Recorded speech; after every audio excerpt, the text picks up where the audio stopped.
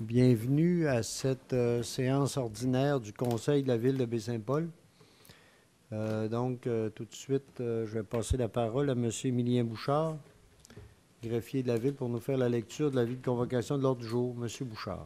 Avis vous est par les présentes donné par le sous-signé greffier de la municipalité qu'une séance ordinaire se tiendra le lundi 9 mars à compter de 19h à l'endroit désigné, soit au 15 rue Forgette, Baie-Saint-Paul les sujets traités seront les suivants, à savoir à ouverture de la séance, en B, adoption de l'ordre du jour, en C, lecture au dépôt des minutes, 1. Adoption du procès verbal de la séance ordinaire du 20 janvier. En 2. Adoption du procès verbal de la séance extraordinaire du 3 février. En D. Consultation publique concernant la demande de dérogation mineure portant le numéro D 2019-26 pour le 6 chemin de l'Équerre, suivi s'il y a lieu de son adoption. En trois, consultation publique concernant la demande de dérogation mineure portant le numéro D 2020-01, secteur chemin de l'horizon boisé, suivi s'il y a lieu de son adoption. En cinq, consultation publique concernant la demande de dérogation mineure portant le numéro D 2020-02, secteur rue Saint-Édouard, suivi de son adoption s'il y a lieu. En sept, consultation publique portant sur le projet de règlement R741-2020, ayant pour objet de modifier le règlement relatif au plan d'urbanisme dans le but de permettre le dépôt d'une demande de dérogation mineure en bande riveraine suivi en 8 de l'adoption finale du règlement R741-2020.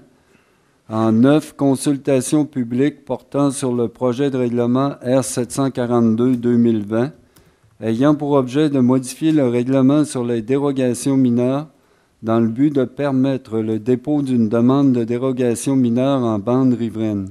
Suivi en 10 l'adoption finale du règlement R742-2020.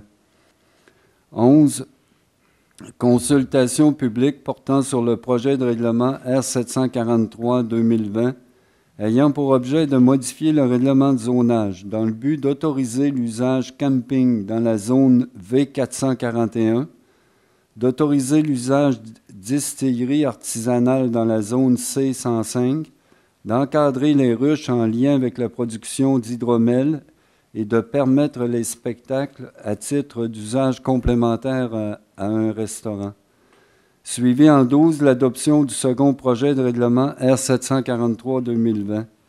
En 13, consultation publique portant sur le projet de règlement R744-2020, ayant pour objet de modifier le règlement sur le PIA dans le but d'autoriser, dans certains cas, le matériau PVC pour le remplacement des portes, fenêtres et garde-corps. Suivi en 14 l'adoption finale du règlement R744-2020. En 15, consultation publique portant sur le projet de règlement R745-2020 ayant pour objet de modifier le règlement sur les permis, les certificats et les conditions d'émission de permis de construction dans le but de corriger un chevauchement d'articles suivi en, 16 de l'adoption finale du règlement R745-2020. 17. Avis de motion d'un règlement qui portera le numéro R752-2020, ayant pour objet de modifier le règlement de zonage dans le but d'autoriser les services de buanderie dans le parc industriel Paul-René Tremblay suivi en 18 de l'adoption du premier projet R752-2020. 19. Adoption du règlement R746-2020, décrétant des dépenses en immobilisation et un emprunt de 1 735 000 remboursables selon des périodes à être définies à l'intérieur du règlement d'emprunt. En 20, Adoption du règlement qui portera le numéro R748-2020, décrétant une dépense et un emprunt n'excédant pas 2 480 000 remboursables sur une période de 25 ans et visant le remplacement des conduites d'eau potable et sanitaire d'une partie du boulevard Monseigneur de Laval, l'ajout de tronçons cyclables et la réalisation d'aménagements paysagers, le tout y incluant les contingences, les taxes et les imprévus. 21. Adoption du règlement R749-2020 décrétant une dépense et un emprunt n'excédant pas 830 000 remboursables sur une période de 15 ans, visant l'achat d'un dégrilleur et la construction d'un bâtiment, ainsi que des travaux de génie civil, le tout y incluant les taxes nettes, les frais contingents et les imprévus. En 22, avis de motion d'un projet de règlement qui portera le numéro R750-2020 établissant un programme d'aide financière à la restauration patrimoniale dans le cadre du programme de soutien au milieu municipal en patrimoine immobilier du ministère de la Culture et des Communications.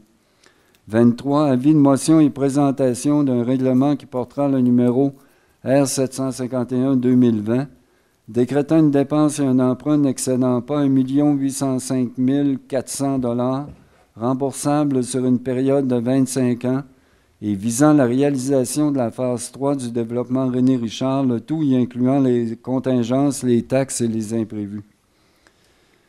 Résolution, administration et législation 1. Correction à la résolution 20-02-062. En 2. UMQ, programme d'assurance des OBNL. En 3, TECQ, en 2014-2018, résolution pour terminer le programme. Et en B, nouveau programme 2019-2023. En 4, travaux sur le boulevard Monsieur de Laval, passerelle en porte-à-faux et trottoir reliant le parc Saint-Aubin. En 5, domaine Charlevoix, session des rues. Sécurité publique, 6, schéma de risque en sécurité incendie, rapport d'activité. Dans voirie hygiène du milieu, en sept adjudications des soumissions suivantes. A pour le pavage, en B machinerie, en C pour les matériaux. 8 travaux Côte de la Chapelle, terrasse La libération de la retenue. En 9 projet du pavillon Saint-Laurent, demande de certificat d'autorisation. Loisirs, parcs et culture, 10 demandes de subvention au Fonds de développement de territoire. 11. Le rendez-vous de la santé, 45e édition, le 17 mai 2020, diverses autorisations. Suivi en F des affaires nouvelles, délégations, demandes diverses. En G de la correspondance. H, lecture des comptes de 25 000 et plus et adoption des comptes du mois de février. Suivi en I de la période d'intervention des membres du Conseil. En J, questions du public.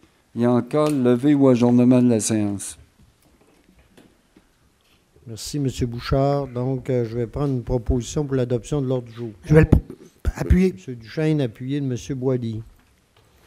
Donc, en C1, euh, adoption du procès verbal de la séance ordinaire euh, du 20 janvier 2020. Donc, les membres du Conseil en ont eu copie. donc, est-ce qu'il y a une proposition? Je vais le proposer. Je vais l'appuyer. M. Goudreau, appuyé de M. Pilote. Maintenant, pour l'adoption du procès verbal de la séance extraordinaire du 3 février 2020, est-ce que j'ai une proposition? Je vais le proposer. M. Boilly? Je vais le seconder. Appuyé de M. Goudreau. Consultation publique, donc, euh, au point D, règlement, consultation publique concernant la demande de dérogation mineure portant le numéro D2019-26 pour le 6 chemin de l'équerre. Donc, on est en période de consultation publique. Et donc, euh, la nature de la demande ici, c'est euh, en fait, c'est en quatre points.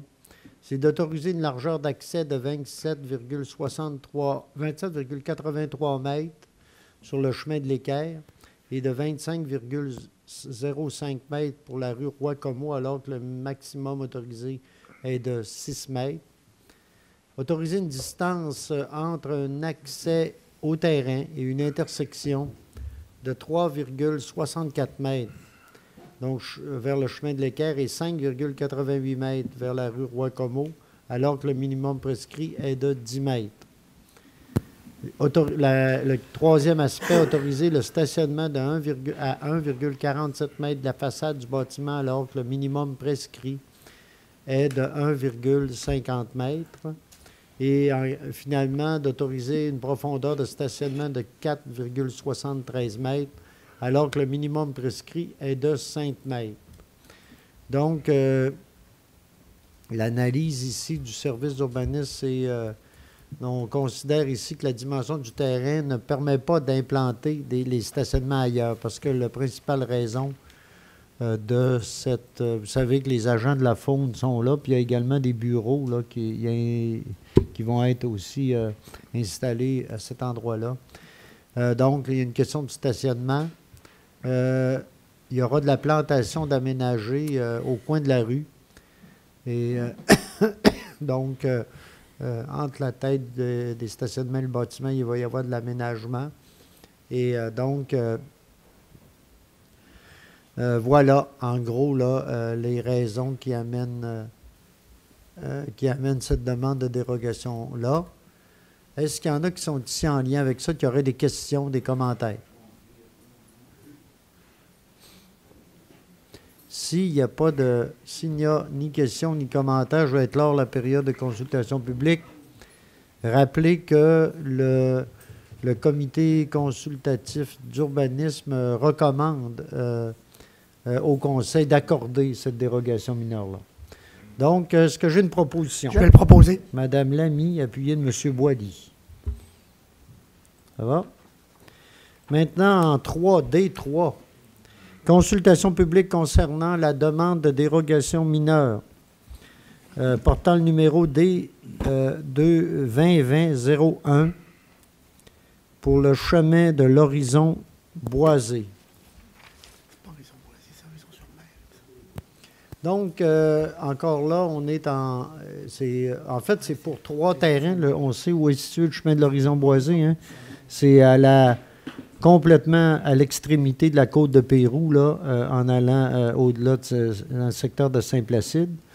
Euh, donc, la, la, nature de la demande est celle-ci, le terrain 1. Donc, c'est d'autoriser une superficie de terrain de 3, 3113,7 mètres carrés et 3048,3 mètres, euh, mètres carrés, alors que le minimum prescrit est de 4000 mètres. Euh, pour le terrain 2, j'ai une superficie de 3038 et 3074. En fait, c'est deux terrains chaque fois, les terrains A et B. Là. Hein, on est euh, dans de la subdivision. Là. Et donc, il y en a un à 3038, l'autre à 3074,9 versus le minimum prescrit qui est de 4000 mètres. Et euh, le lot, euh, le terrain 3, même chose, 3660,8 euh, mètres carrés versus 3, et, 3209, toujours versus le 4000 mètres normalement qui est prescrit. donc, les bâtiments projetés sur les nouveaux terrains seront de petite dimension. Donc, ici, hein, je pense que c'est le secteur là, des, ce qu'on parlait des, de, micro-maisons, mini, euh, hein, c'est dans ce coin-là. Euh, les bâtiments projetés auront des revêtements extérieurs foncés afin de s'harmoniser au cadre naturel du secteur.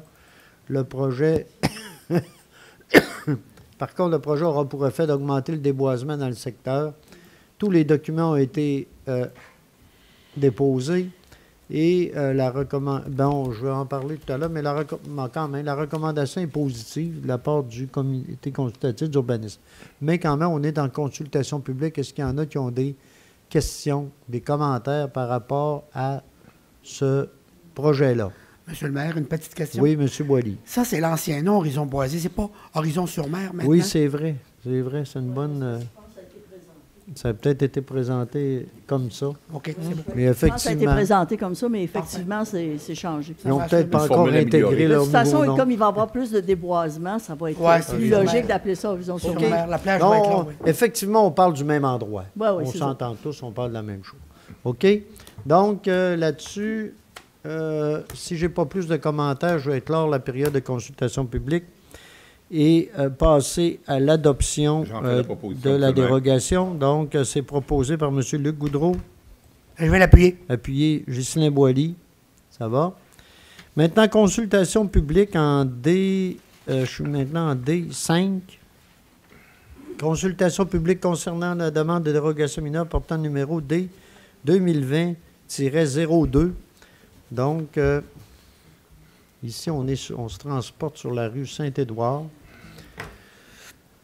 Voilà, donc euh, ici, on est. euh, on parle d'un agrandissement ici euh, de 16 par 16 en cours arrière pour l'habitation unifamiliale, pour une habitation unifamiliale jumelée, alors que l'agrandissement projeté n'est pas symétrique en volume au niveau du toit, de l'architecture et du revêtement extérieur. Ça, c'est la nature de la dérogation. L'agrandissement, ce qu'on nous donne comme commentaire, c'est que l'agrandissement ne sera pas visible de la rue. L'agrandissement s'harmonise à l'architecture du bâtiment. La symétrie du bâtiment sera conservée par rapport à la façade. Et euh, donc, tous les documents ont été déposés. Donc, euh, le CCU, dans ce cas-ci, recommande également euh, d'accorder la dérogation, mais on est en consultation publique. Est-ce qu'il y en a qui sont ici, qui auraient des commentaires ou des questions particulières sur cette demande-ci? Sinon, je vais encore une fois clore la période euh, euh, de consultation publique et demander une proposition. Je vais le proposer. Monsieur Pilote, Je vais le seconder. appuyé de M. Goudreau. Maintenant, consultation publique en D7. Consultation publique portant le- sur le projet de règlement R741-2020 ayant pour objet de modifier de modi- oups, oups, ayant pour objet de modifier le règlement relatif au plan d'urbanisme dans le but de permettre le dépôt d'une demande de dérogation mineure en bande riveraine. Donc, euh, on en avait parlé, on avait présenté un premier projet là-dessus. Euh, je pense que c'est assez clair. Dans certains cas, en bande riveraine, on, s'était aperçu que, vous savez, on a beaucoup, nous, ici, de- on a des dossiers, des fois, qui touchent les bandes riveraines de, rivières, mais aussi de ruisseaux cadastrés et qui viennent, euh, qui sont importantes dans le cadre de certains dossiers. Et maintenant, ben, ce qu'on fait, c'est euh, euh, il est possible pour nous maintenant que des gens, pour euh, régulariser certains dossiers, d'avoir la possibilité d'aller pour régler certaines problématiques localisées en bande riveraine. Et euh, évidemment, pas tout, pas n'importe quoi, mais il y a quand même des choses, ça nous permet là, d'avoir plus, un peu plus de latitude par rapport à ça. Euh, donc, euh, qu'il y en a qui sont ici qui auraient des questions, des commentaires par rapport à ce projet de règlement-là? De l'intégrer à notre plan d'urbanisme. Sinon, je vais clore la période de consultation et demander une proposition pour l'adoption finale du règlement. Monsieur Gaston Duchesne, c'est appuyé Je vais l'appuyer. de M. Luc Goudreau. En neuf, c'est la même chose, mais c'est une consultation publique en lien avec, euh, euh, cette fois, avec euh, la modification de notre règlement sur les dérogations mineures pour l'inclure réellement dans notre règlement de dérogation mineure. Donc, voilà, c'est exactement le même projet. Je suis en consultation publique. On suit les règles. Il y en a- Est-ce qu'il y a des personnes qui auraient des commentaires, des questions? Sinon, je vais clore la période de consultation et demander une proposition pour l'adoption. Monsieur Je vais le seconder. appuyé de Monsieur Goudreau. Point D11. Consultation publique portant sur le projet de règlement R743-2020 ayant pour objet de modifier le, règlement de zonage dans le but d'autoriser l'usage camping dans la zone V441.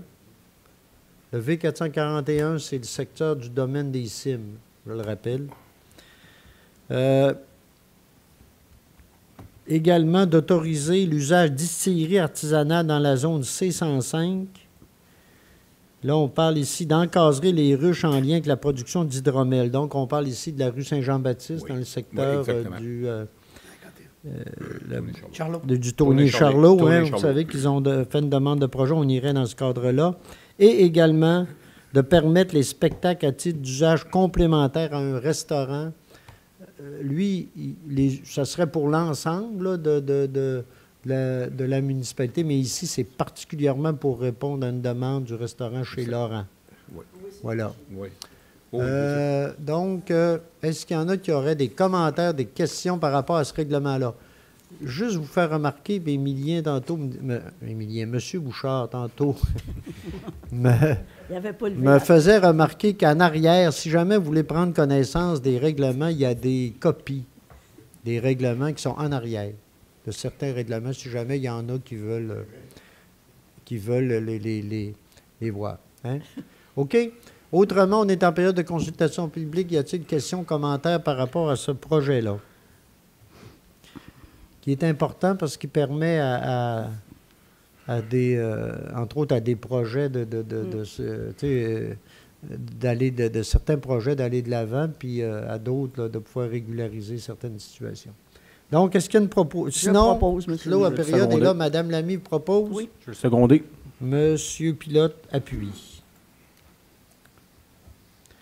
En 13, maintenant, consultation publique portant sur le projet de règlement R744-2020 ayant pour objet de modifier le règlement sur les PIA dans le but d'autoriser, dans certains cas, le matériau PVC, donc vinyle, pour le remplacement des portes, fenêtres et garde-corps. Donc, euh, arrive.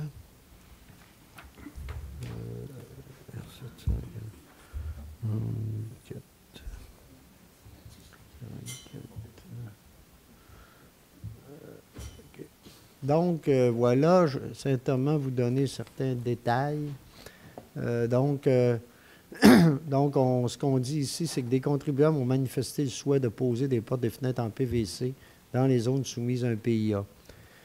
Le conseil municipal juge approprié de répondre en partie à cette demande dans les zones soumises. Euh, les bâtiments qui ont une valeur patrimoniale, parce qu'on a, euh, on, retirerait du règlement, en fait, ce serait pour certaines zones, en zone PIA, mais non, on retirerait le- les bâtiments qui ont une valeur patrimoniale exceptionnelle, supérieure ou forte. Donc, eux continueraient, le conserveraient leur niveau de protection actuel. actuel. Donc, voilà. Donc, euh, ce dont on parle ici, c'est les zones euh, faibles et euh, moyennes. Moyennes et faibles. Mais c'est beaucoup.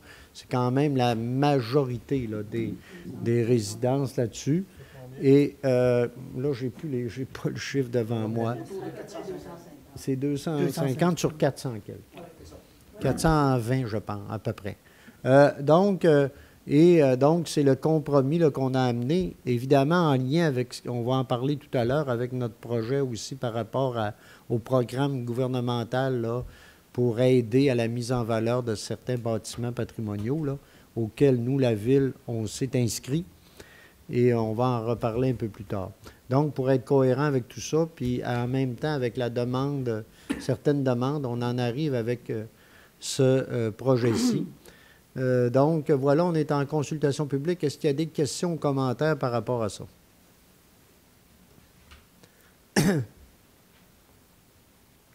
Ça va là-dessus?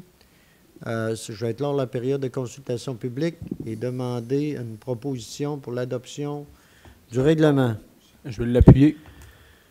Là, ici, on est avec l'adoption finale. Hein? C'est ça. 744, c'est l'adoption finale. Donc, euh, c'est proposé, M. Duchesne, appuyé par M. Pilote. Alors, je vais demander le vote, Il y a un maire. vote qui est demandé. Euh, Désirez-vous faire des... vous connaissez, pense que, les déjà commentaires ont déjà été- abondamment, que je résume pour euh, trois, Oui, trois, trois éléments, c'est-à-dire euh, la santé, le développement durable et, le, et aussi euh, les valeurs patrimoniales, qui, à mon sens, ne sont pas tenues en compte dans cette modification. Mais je ne vais pas plus loin, mais c'est dit déjà. Euh, D'autres commentaires? C'est beau? Aucun. Donc, euh, j'ai une proposition, une demande de vote. Quels sont ceux qui sont favorables? Quels sont ceux qui sont contre? Voilà, c'est euh, adopté majoritairement.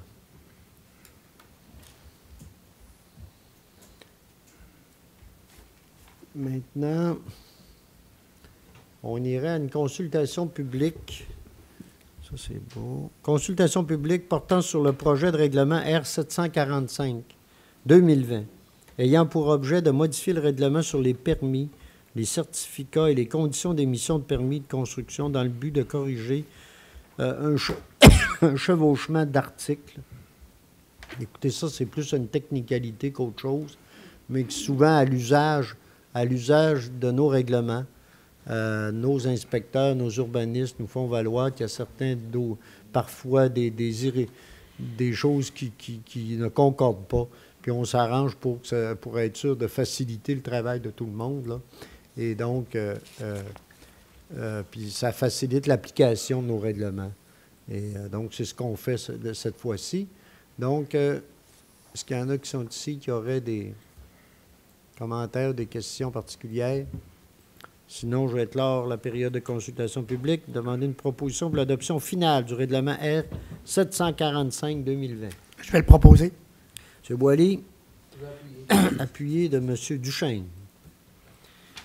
En 17 maintenant, la- un avis de motion d'un règlement qui portera le numéro R 752-2020, ayant pour objet de modifier le règlement de zonage dans le but d'autoriser les services de buanderie dans le parc industriel Paul-René Tremblay. Euh, C'est un avis de motion, mais rapidement, euh, qu'est-ce qui nous amène...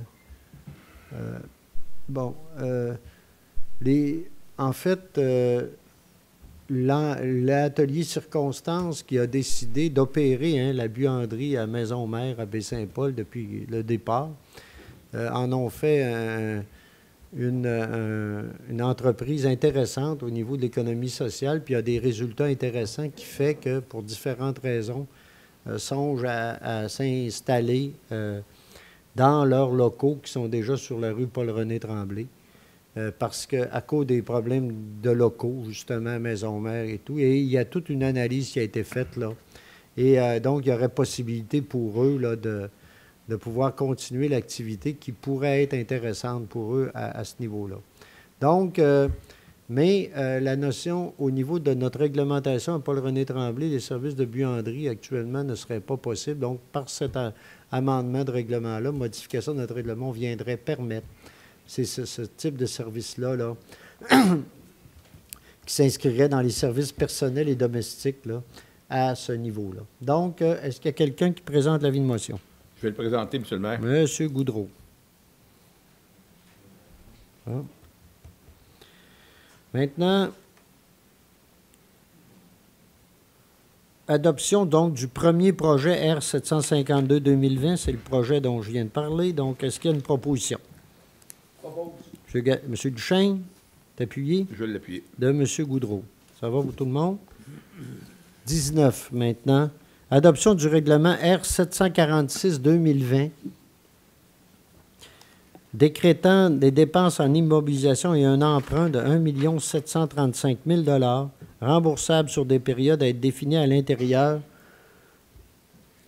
du euh, règlement d'emprunt. Ici, on parle d'un règlement, ce qu'on appelle un règlement parapluie.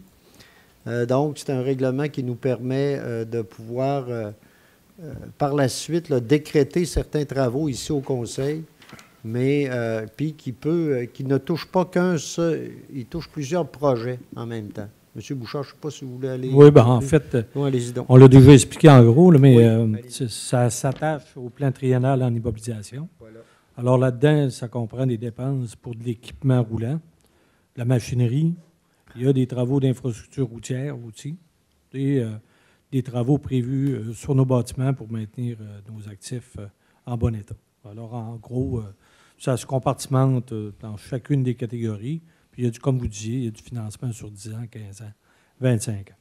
Ça, on- ça nous donne la latitude de revenir euh, pour chacun des projets euh, au niveau du conseil, là, puis euh, de faire en sorte, au lieu d'avoir trois, quatre démarches d'adoption de règlement système, ben là, on fait une démarche globale qui intègre toutes ces dépenses-là. Et si vous me le permettez, M. Fortin, Oui, Monsieur de toute façon, à toutes les fois, quand on va dans ce type de règlement-là, le Conseil en est saisi et ça revient au Conseil pour chacune des dépenses concernées dans le ça. règlement. Je me trompe? Oui, ça vient par décret, effectivement. On le, déc- ben, pas par- on le décrète ici par résolution. On peut le faire, ça nous donne cette latitude-là. Euh, écoutez, là, on parle ici de. de- c'est surtout des, des- en lien avec nos infrastructures puis nos équipements, là, euh, la plupart des, des projets qui sont là-dedans. Donc, euh, est-ce qu'il y a une proposition. euh, donc, maintenant, c'est un. Attendez un peu, là. On est à l'adoption. C'est euh, c'est l'adoption du règlement. Donc, est-ce qu'il y a une proposition? Je le propose. Monsieur Duchesne, Je vais l'appuyer. appuyé de Monsieur Boilly. Maintenant, en 20, adoption du règlement qui portera le numéro R748-2020, décrétant une dépense et un emprunt n'excédant pas 2 480 000 remboursable sur une période de 25 ans et visant le remplacement des conduites d'eau potable et sanitaire d'une partie du boulevard Monseigneur de Laval, l'ajout de tronçons cyclables et la réalisation d'aménagements paysagers, le tout y incluant les contingences, les taxes et les imprévus. Donc, euh, euh, ici, c'était, le- vous savez, on, a fait un avis de motion hein, euh, lors d'une dernière rencontre. On en a parlé. Vous savez que le ministère des Transports euh, va faire des travaux de, resurfaçage sur euh, Monseigneur de Laval entre ce qu'on, le pont de la rivière du Bras et euh, le pied de la côte de Pérou, là, environ, ce, espace-là. Et nous, en même temps, on en profite pour refaire euh, certaines infrastructures d'aqueduc et d'égouts. Et également, euh, on veut continuer le cyclable qu'on avait commencé euh, du côté de la compagnie Tremblay à aller jusqu'à jusqu'à la rue du Golfe. Et de l'autre côté, on ferait ça sur deux ans. De l'autre côté, il y aurait un trottoir qui serait prévu là, dans ce secteur-là, qui irait rejoindre. Là, puis évidemment, on va discuter sur des questions du passage au niveau du pont de la rivière du Bras, là, mais euh, qui irait rejoindre le parc euh, Saint-Aubin de l'autre côté. Donc, euh, voilà en gros, là. Et vous savez, il y a plusieurs. Là, on, on va avec un règlement pour 2 millions euh, 480 000, mais on a de l'argent qui vient de la tech là-dedans qu'on va pouvoir in- inscrire là. Puis il y a un autre programme également, M. Bouchard, rappelez-moi le titre du programme. Non, le titre. Oh boy, OK, excusez-moi de vous. mais il y a un autre programme qui Ouais, est je peux- je intéressant peux- avec je lequel, dire. je sais que ça finit par FU, là, mais, Ouais. mais euh, c'est intéressant. Donc, il y a deux programmes qui font là, que euh, euh, on pourrait là, faire des travaux intéressants, mais à des coûts, à des coûts aussi intéressants à ce niveau-là. Donc, euh, est-ce qu'il y a une proposition ici pour l'adoption du règlement? Je vais le seconder.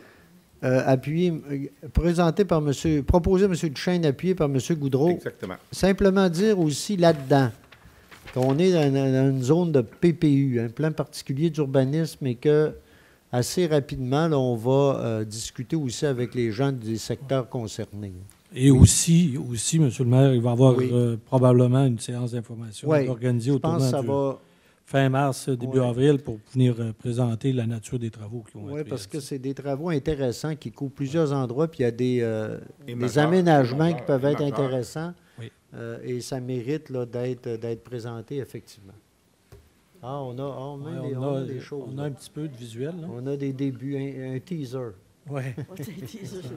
Donne- ça donne un peu l'esprit de ce qu'on On va un peu divertir les gens cet été.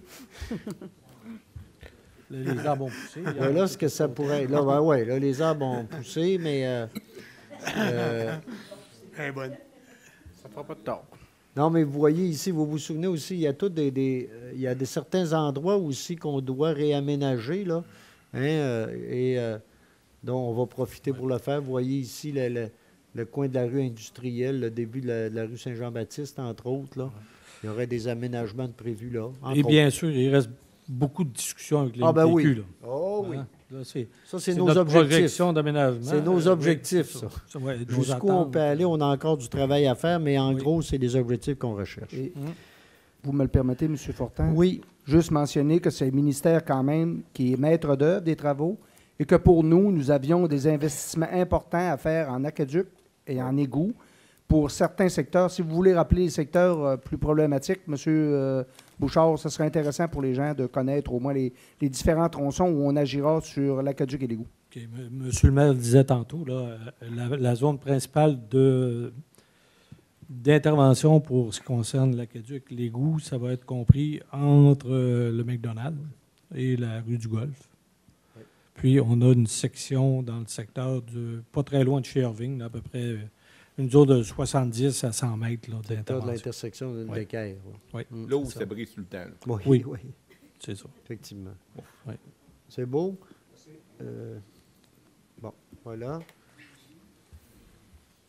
Maintenant, adoption en 21 du règlement R 749-2020 décrétant une dépense et un emprunt n'excédant pas 830 000 remboursables sur une période de 15 ans visant l'achat d'un dégrilleur et la construction d'un bâtiment ainsi que des travaux de génie civil, le tout incluant les taxes nettes, les frais contingents et les imprévus. Ici, on parle de tout le, secteur des étangs aérés hein, où on traite nos eaux usées. C'est dans ce secteur-là. Et euh, des- on répond aussi à des exigences du ministère de l'Environnement également pour rendre conforme l'ensemble, qui sont euh, conformes, mais qui sont en certains niveaux désuètes et sur lesquels, qui datent de plusieurs années. Et on a des investissements importants à y faire. On continue nos investissements. Vous vous souvenez qu'on a fait nos stations de pompage. Là, on arrive avec le dégrilleur et peut-être dans pas tant de temps que ça, on aura besoin d'un- étang supplémentaire. Ça, on s'en vient aussi avec ça. Donc, euh, et, et le tout étant euh, nécessaire dans le sens où euh, les projets de futur développement pourraient être liés à ça, hein, à l'ensemble de nos installations. Donc, euh, voilà, pour ce règlement-là, il y a une proposition. Je vais le seconder. Monsieur Duchesne appuyé, Monsieur Goudreau.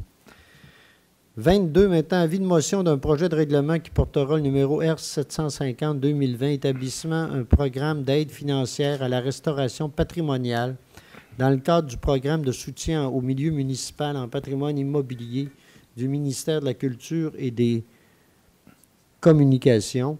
Donc, on a... Mon Dieu. Là, je parle dans mon micro. Je parlais pas de... Correct, là? OK. Bon. Je m'entendais pas. On dirait, on dirait que je m'entends mieux, là. C'est drôle. Ah, peut-être, oui. Faut, faut que je reste. Faut pas que je bouge trop. OK. Euh, donc, j'en parlais tout à l'heure, la question de, de, euh, le programme d'aide financière à la restauration patrimoniale. Vous savez, le gouvernement du Québec a annoncé quelque chose euh, il n'y a pas si longtemps. Nous, on s'est rapidement inscrit à ce niveau-là. Là, ici, ça sera en lien avec le volet 1A, si je ne me trompe pas, hein, du Oui. programme. Hein, M. Bouchard, voulez-vous? Oui, c'est ça, le- quelques petites Alors, en fait, c'est ça, le projet de règlement là, vise Oui. euh, deux, deux- deux types de travaux. Il y a des travaux de structure puis des travaux sur les, les composantes architecturales. Ça fait que les taux vont varier de, de, de- de- de l'un à l'autre, pouvant atteindre 10 000 l'aide municipalité et MCCQ. Puis, dans un autre volet, ça peut aller jusqu'à, je crois qu'on est allé jusqu'à 15 000 C'est 15 000, Oui, ça. Oui. alors, euh, les gens auront euh, toute l'information. là, on va le diffuser euh, parce qu'il faut s'inscrire. Il faudra s'inscrire. et il y a un comité qui va, sur la base de différents critères, établir les, les- projets là, qui se démarquent le plus. Alors, là, on est dans les premières étapes, c'est soit celle d'engager les sommes pour la ville, de définir les paramètres du programme, puis d'avoir le, MCQ, le MCCQ qui, lui, euh, va, suite à ça, nous confirmer ou pas là, son, son implication. Et, et c'est important de souligner. euh, J'avais une petite question. Quand on parle de 10 000, est-ce que c'est le cumul des deux? Ben, c'est 10 000 chacun, la ville. Ça va être, et euh, il y a une disposition qui indique que ça va être jusqu'à la concurrence totale du maximum de 15. OK. Il y a une disposition, là. Oui. Je peux vous donner l'article. OK. Permettez-vous un commentaire pendant qu'il cherche ça? là? Oui, allez-y. Il sera euh, impossible pour un propriétaire privé d'additionner l'aide financière des deux types d'intervention. OK, alors ça va être l'un Ah. l'une ou l'autre. C'est le numéro. Soit la ville, soit le ministère. Non. Ah, Euh, OK. parce qu'il y a deux volets. Il y a, il y a le volet 1 le Ah volet oui, 2. OK. OK, je comprends. Oui, OK. Vous comprenez? OK, ça Alors, euh, c'est ça, dans le premier volet, c'est des, des travaux de restauration et de préservation qui ont lien avec la- les caractéristiques de l'immeuble. Alors, ça, Oui, ça peut aller jusqu'à OK. 10 000. Oui. Puis pour ce qui concerne des travaux de restauration de portes, fenêtres, revêtement de toiture ou encore euh, remplacement de matériaux traditionnels, ça, ça pourrait, ça pourrait atteindre 15 000 Les, euh, les taux d'aide varient. OK. OK. Euh, Oui. Madame Lamy, oui. Étant donné que le printemps est là, c'est ce qu'on voit aujourd'hui, euh, et que la- dans l'enthousiasme général du printemps des rénovations, je veux simplement signaler aux gens, avant qu'ils se précipitent, qu'il y a des travaux qui ne sont pas admissibles. Aussi. Alors, euh, par exemple, euh, la, rénovation, la rénovation n'est pas admissible à ce programme-là. Euh, la rénovation implique la réparation, le remplacement des composantes d'origine, euh, etc., par, par des matériaux contemporains ou d'imitation, sans égard au patrimoine. Alors, par exemple, remplacement des parements en matériaux traditionnels par des parements contemporains, comme par exemple le polychlorure de vinyle, appelé PVC, en vinyle, aggloméré ou en fibrociment. Euh, remplacement des portes et fenêtres de matériaux traditionnels par des portes et fenêtres en aluminium, en vinyle, en chlorure ou en euh, chlorure de polyvinyle ou en métal anodisé. Remplacement d'une couverture de toiture en matériaux traditionnels par une couverture de, de bardeaux d'asphalte. Euh, et ensuite, remplacement de différents types de vitres traditionnelles par des vitres thermiques. C'est certain qu'on on fait Merci. référence à un programme Oui. patrimonial, alors Oui. tout à fait Il faut, très- il faut bien Oui. préciser que pour Oui. être admissible, il faut être en zone PIA, Aussi. puis être, nous, vous savez, avec la MRC, on a fait faire une caractérisation, de, on en a parlé tout à l'heure, d'au-delà de 400 résidences à Baie-Saint-Paul qui ont une valeur patrimoniale. Mais il faut être dans, catégorisé dans les trois, là, exceptionnelles, fortes ou euh, une, une troisième, là, supérieure, exceptionnelle ou forte. Il faut être là-dedans pour pouvoir être admissible à ce projet, à ce fait. Programme-là. Il faut bien le préciser. là. Et il y aura toute une campagne d'information Oh, oui, là, oui, pour oui, s'assurer que la population euh, quand ça va être le temps. Mais c'est intéressant en même temps parce que ça fait longtemps qu'on parle de la possibilité de- d'aider euh, certaines, euh, certaines rénovations qui peuvent. Puis on le voit, il y a des résultats aussi. On a déjà eu un programme de subvention avec la SHQ, avec le ministère de la Culture, puis il y a certains travaux intéressants qui ont été faits à Baie-Saint-Paul, puis on voit les résultats. C'est assez exceptionnel. Donc voilà. Euh, qui présente l'avis de motion? Monsieur Boily. Maintenant, avis de motion en 23 et présentation d'un règlement qui portera le numéro R751-2020, décrétant une dépense et un emprunt n'excédant pas 1 805 400 remboursables sur une période de 25 ans et visant la réalisation de la phase 3 du développement René Richard, le tout y incluant les contingences, les taxes et euh, les euh, imprévus.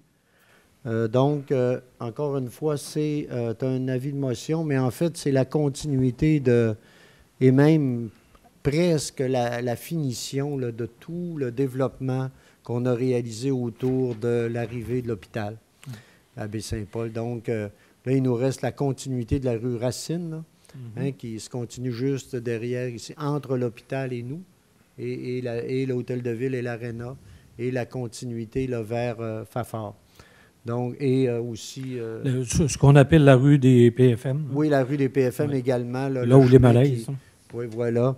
Et donc, euh, on viendrait là euh, faire ces. euh, euh, euh, compléter en grande partie là, l'aménagement de l'ensemble de ce secteur-là. Donc, euh, je ne sais pas, est-ce qu'il y a quelque chose à ajouter, M. Bouchard, ça va?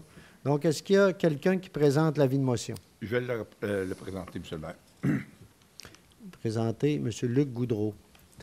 Euh, simplement dire ici, je on l'a ici, regardez, on parle du prolongement de la rue Racine, la réfection de la rue des Petites Franciscaines de Marie, l'ajout d'un trottoir du côté ouest, l'aménagement de places de stationnement, la plantation d'arbres, l'ajout d'une conduite d'eau chaude reliant l'aréna et son prolongement vers l'hôpital.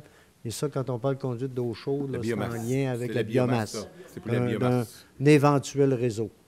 Voilà. Ça, quant à jouer dans la Voilà. sous-fondation, Ben oui. on, Ouais. on prévoit déjà mettre On une va le prévoir.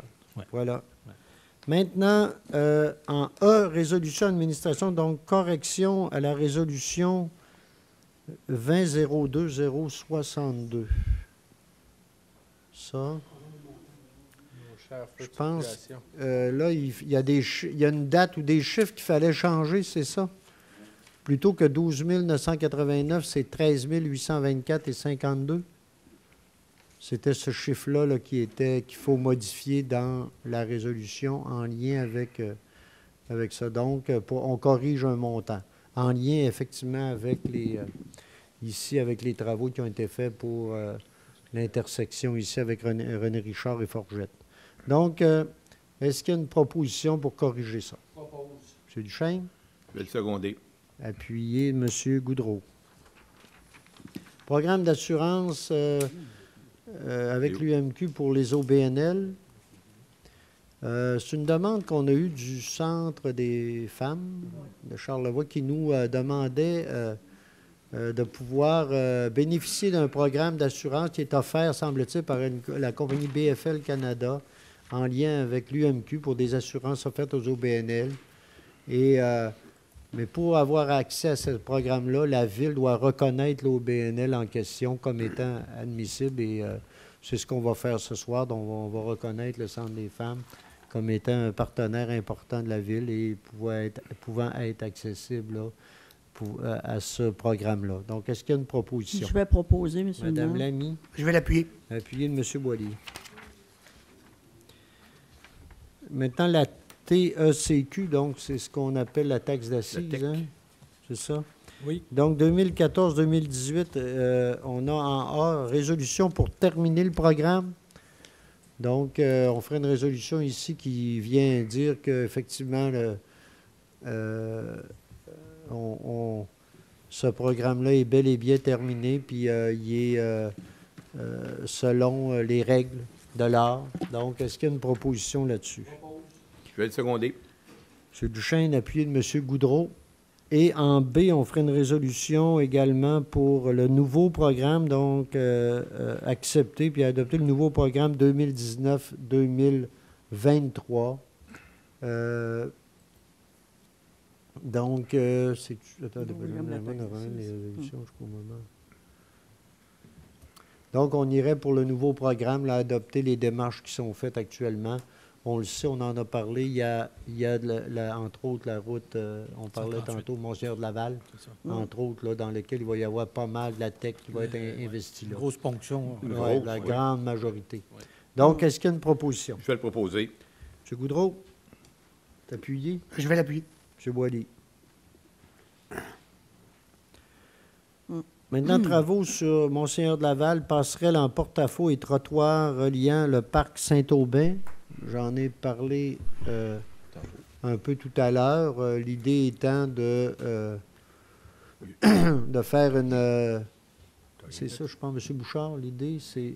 En fait, c'est c'est d'adresser au ministère La aux demande demandes, au hein. ministère, C'est-à-dire ouais. donc le- le- le- la possibilité de s'ancrer euh, sur le pont, de pouvoir s'ancrer là. puis euh, de- de- d'avoir le trottoir, puis le- tout le concept d'aménagement qu'on montrait tantôt, là, qui, qui va être, euh, qui leur est soumis. avec là. la passerelle. C'est ça. Puis, avec, euh, mais ces travaux-là seraient à nos... Ah oui. Ces travaux-là seraient à nos frais. Là. Oui, ça, c'est- Ouais, Oui, Sauf oui, qu'on oui. nous permet de les faire, puis... euh, Oui, puis c'est dans ce cadre-là qu'on a Oui. adopté le règlement tantôt, voilà. là, le projet de règlement. Donc, est-ce qu'il y a une... Pro... Ah non, ça ne coûte pas les deux. Les deux passerelles ne coûtent pas ça. Ah, La partie, total, euh. La partie aménagement, ça représente euh, peut-être là, autour de, de 700 000 sur le, le- le total Sur du budget tantôt. ouais. oui. Ouais. Pour la première phase. Il y aura une deuxième phase. L'année prochaine, Mais c'est quand même important, je crois, de mentionner que tu sais, c'est ça, ça va venir boucler la, blou- la boucle ça. au niveau sûr. des Le cyclables. pétillant, Ça va être plus sécuritaire aussi Ah oui. là, pour les, cyclistes et les piétons là, Oui. Puis, sur le Monseigneur de Laval. OK, donc, est-ce qu'il y a une proposition pour aller dans ce sens-là? Je vais M. Madame Lamy, appuyez M. Pilote.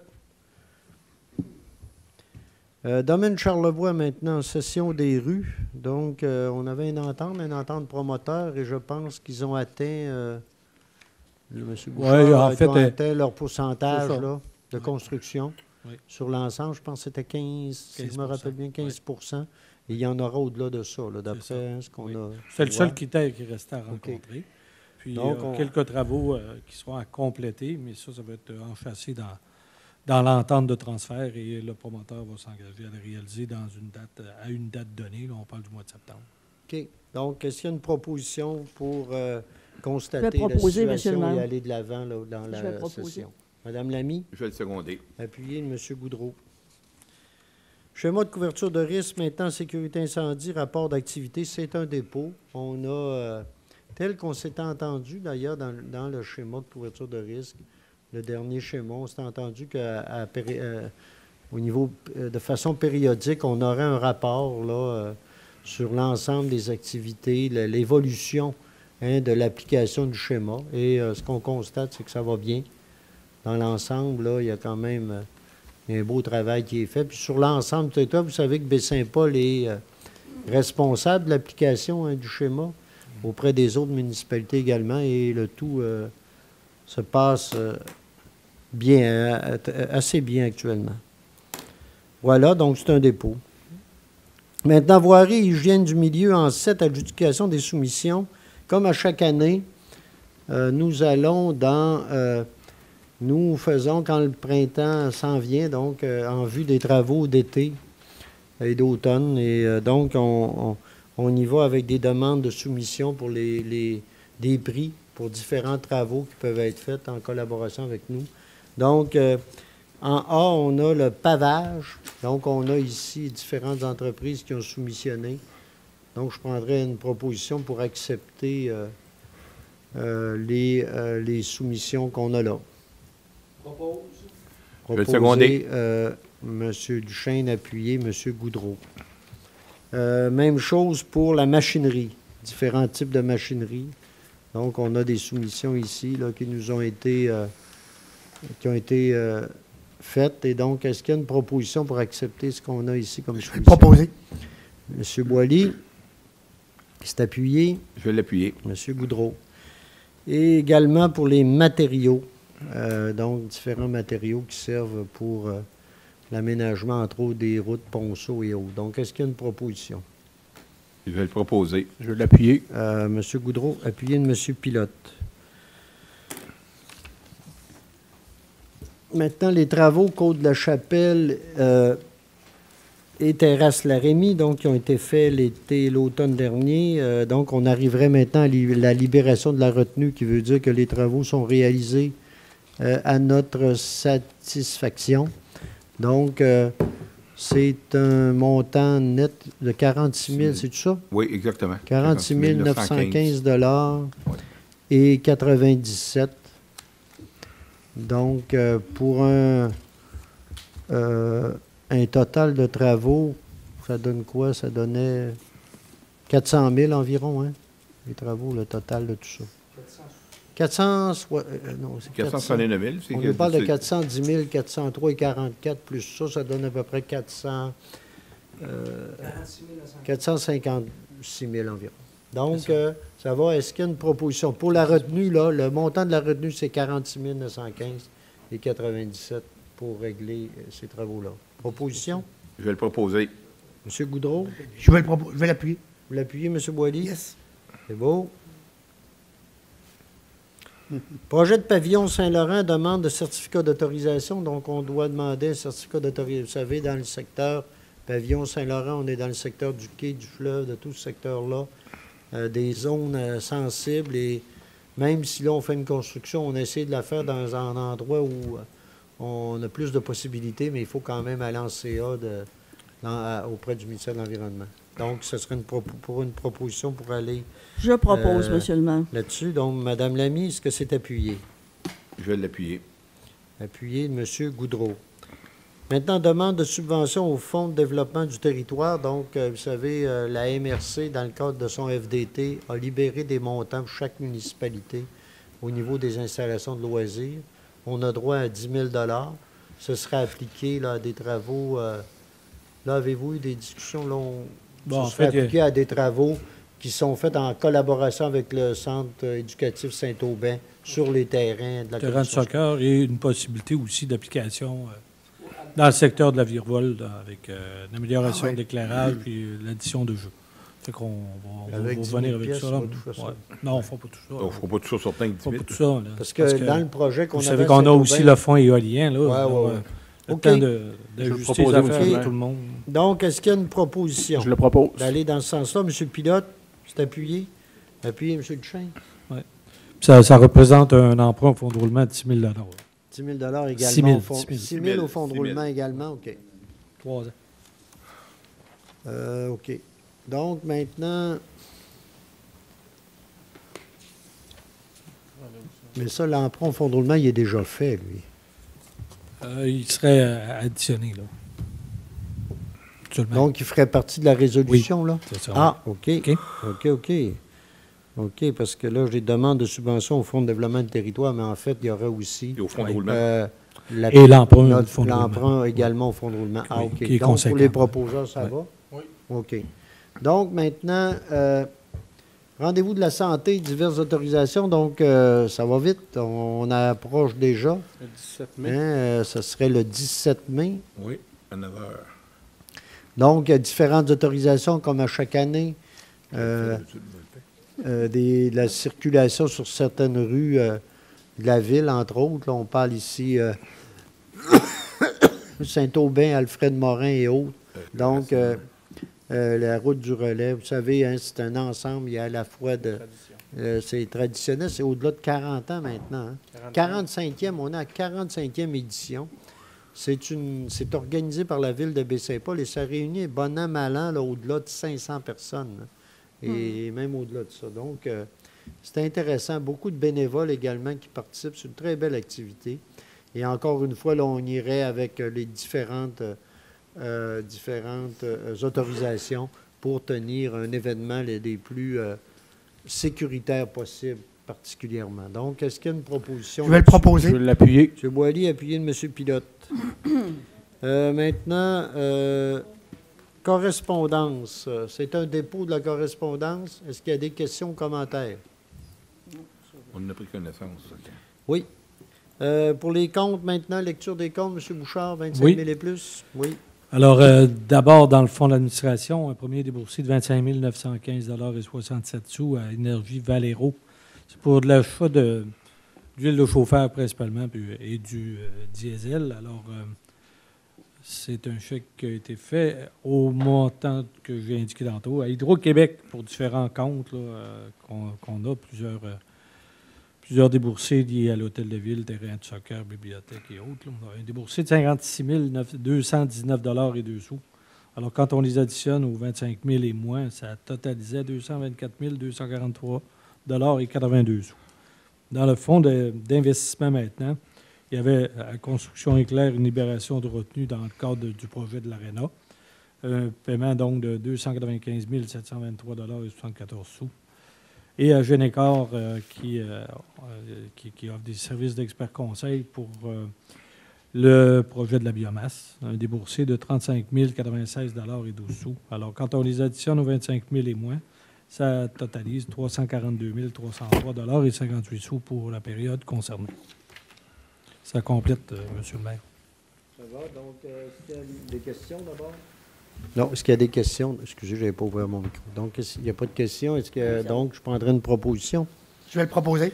M. Boily, appuyé. Je vais l'appuyer. M. Goudreau. Donc, maintenant, période d'intervention des membres du conseil. Ça va? Un petit M. peu Pilote? Oui. C'était hier, la Journée internationale des femmes. Donc, c'est pour souligner aussi toutes les femmes qui s'impliquent au sein de la société québécoise, que ce soit dans la gouvernance des institutions, dans le bénévolat, tout ça. Fait que euh, je souligne officiellement votre contribution qui est plus qu'importante auprès de notre collectivité. Euh, donc, un beau bravo à ceux qui s'impliquent dans Charlevoix. Merci. D'ailleurs, là-dessus, euh, je ne veux pas, peut-être Mme Lamy voulait réagir, mais le simple dire qu'au niveau de la MRC, il y a un comité euh, La sur la parité, une politique paritaire, hein, Oui, ben, qui voulais en recherche. par- Ah, ben là, excusez-moi, Je- mais je voulais non, juste dire que Mme Lamy nous représente la ville là-dessus, sur ce comité-là. Et là, je lui laisse J'ai la pas eu parole. le choix. non, ça me fait plaisir de représenter le conseil là-dessus. D'ailleurs, euh, à ce sujet-là précisément, on va, euh, euh, on a reçu aujourd'hui, je vais le transmettre aux membres du conseil, on a reçu cet après-midi euh, de la part de la MRC, parce que c'est la MRC qui menait cette opération-là avec toutes les municipalités de Charlevoix-Ouest. Alors là, no- notre politique est, terminée, on a terminé. Elle sera déposée à tous les maires de toutes les, municipalités de Charlevoix- Charlevoix-Ouest qui ensuite vont euh, les transmettre euh, aux conseillers. Mais auparavant, avant qu'elle devienne finale, euh, les conseillers recevront, le conseil recevra, s'il veut faire ses commentaires avant la dernière version. C'est ce que j'ai su cet après-midi. Que je vais vous l'envoyer euh, pour que vous puissiez le consulter. Euh, je, remercie M. Pilote de saluer toutes les personnes, toutes les femmes qui s'impliquent dans la région. Euh, c'est un beau côté des choses, mais en même temps, je voulais, puisque c'est toujours à la Journée internationale des femmes, c'est toujours un moment aussi de réflexion, un peu de bilan aussi sur ce qui se passe. Il y a des choses heureuses, et puis il y en a d'autres qui le sont moins. Mais je pense qu'il faut à la fois mentionner les deux parce que c'est important. Alors, euh, quelques, simplement, je propose ça à votre réflexion parce que je pense que c'est important pour guider l'action ensuite. C'est pas juste pour mettre des chiffres puis parler des catastrophes puis parler des choses horribles, mais parce que ce sont des réalités qu'il faut confronter pour pouvoir justement trouver des solutions.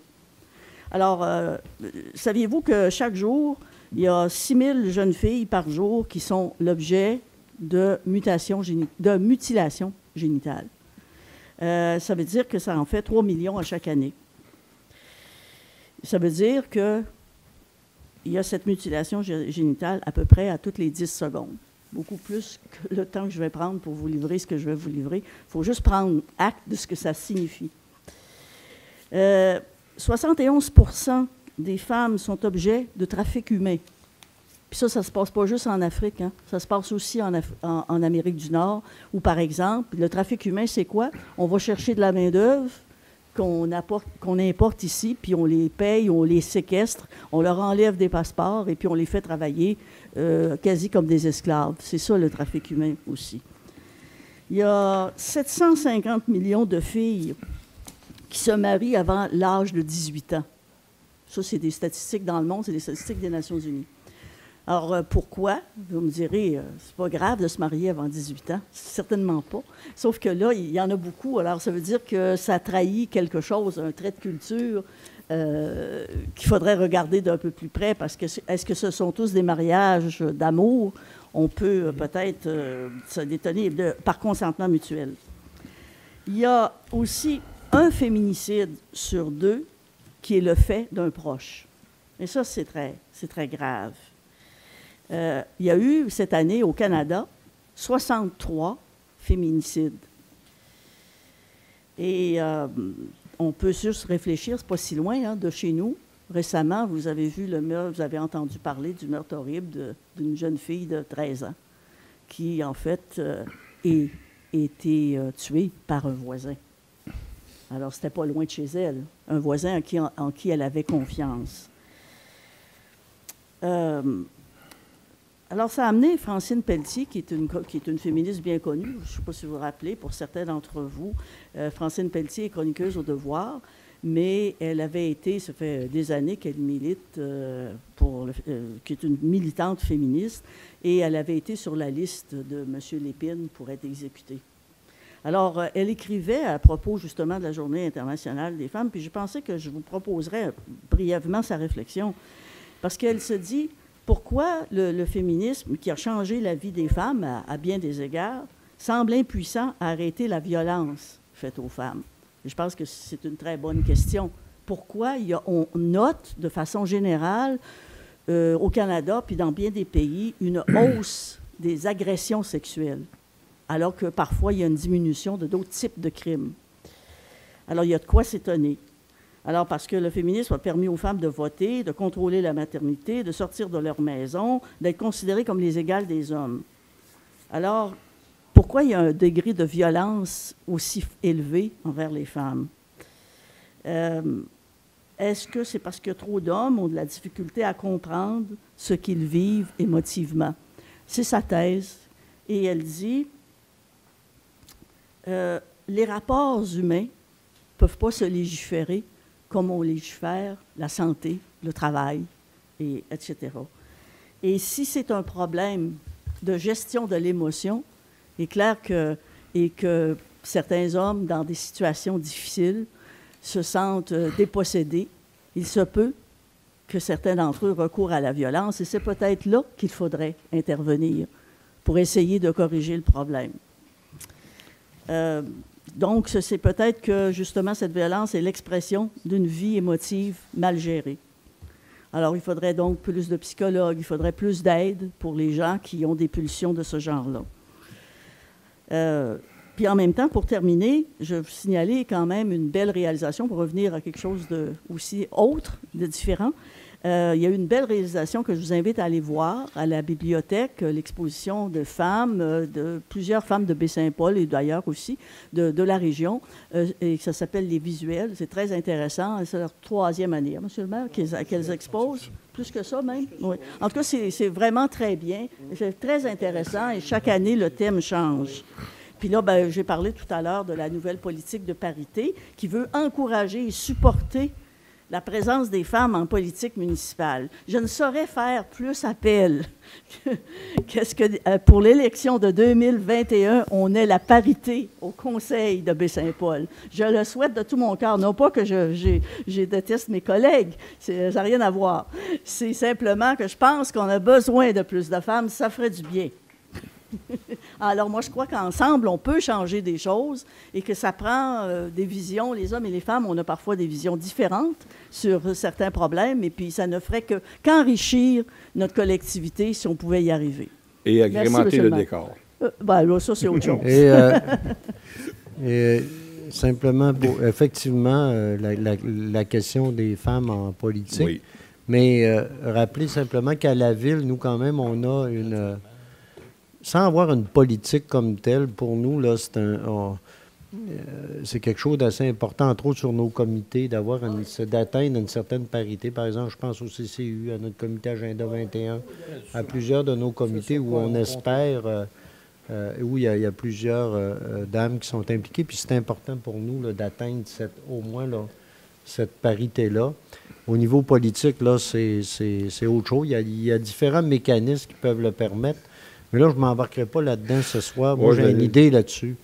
Et euh, j'en parle là, je ne le ferai pas là parce que moi, je pense que. Mais je vais dire pareil. Moi, je pense que pour qu'il y ait plus de femmes en politique euh, euh, municipale, il devrait y avoir des partis politiques. Et euh, ça aiderait. Mais c'est correct. Puis, euh, ben, C'est une, c'est maire, approche personnelle. Mais monsieur Oui. le maire, à, à part ça, on a besoin aussi de, de, de choses. La politique de parité là, qu'on va adopter propose aussi des moyens. Aussi.